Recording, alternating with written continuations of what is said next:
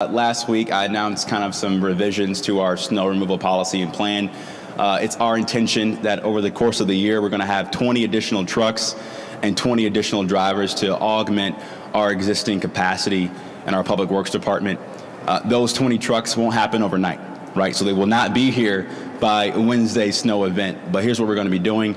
Uh, you'll see some announcements from my office tomorrow about greater coordination between the city, RTA, our CDCs, Downtown Cleveland Alliance, and our healthcare organizations to make sure we're using every resource and asset we can to keep our main streets plowed, keep our secondary streets plowed, and keep our residential streets plowed.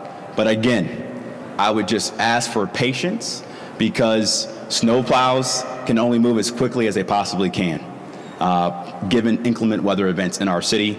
Uh, as a matter of transparency, we announced a, a snowplow tracker on our city's website, but we will do everything we possibly can to keep our streets safe in the event of a major storm uh, later this week.